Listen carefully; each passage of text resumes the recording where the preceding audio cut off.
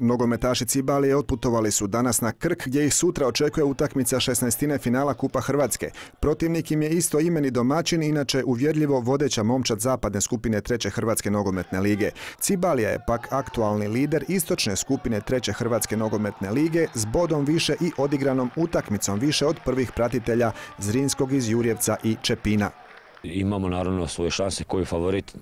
Mi smo isto treća liga. Što uopće znate o njima? Pa trenutno znam da su vodeći, vodeći u, u, u, trećoj ligi za, e, Zapad i da imaju pet utakmice, pet pobjeda. Cibalija će sutra na igralište Krka istrčati nekompletna, bez četvorice startera iz prošlo subotnje utakmice protiv Slavije, ozlijeđenog vratara Marjanovića, kartoniranog stopera Tadića, Kuzmića koji izostaje zbog poslovnih, te Belje kojega neće biti zbog obveza prema reprezentaciji Hrvatske do 17 godina.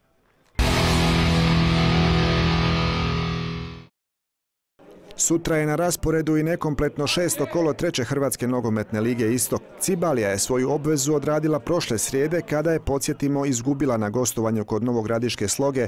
Vukovar 1991 će ju odraditi 3. listopada protiv Đakovo Kroacije, a sutra će na teren nogometaši Ivankovačkog bedema koji na svom gracu dočekuju Požešku Slavoniju.